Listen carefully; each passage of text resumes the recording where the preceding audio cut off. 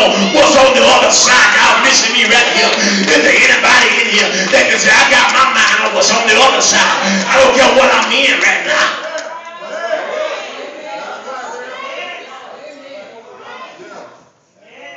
He didn't mention nothing about a storm. He didn't mention nothing about what was going to happen in the middle of the sea.